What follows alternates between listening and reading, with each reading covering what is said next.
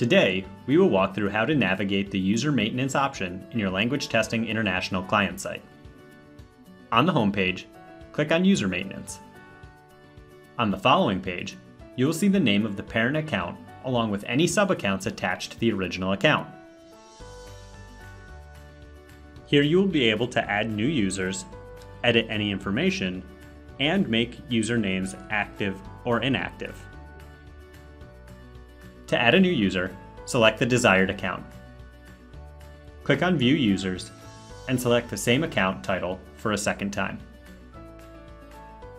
A Create User and Go Back option will appear. Select the Create User option. On the next page, you'll be prompted to fill out the required fields name, phone number, the new user's email, and a unique username. Before making a username active, select the modules you would like for that person to access. Once completed, activate the new username and save.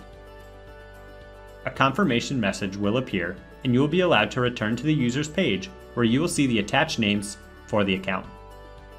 The new user will receive an automated email with the newly provided username and a temporary password for your organization's client site. Follow the same steps to edit user information or to make a user inactive.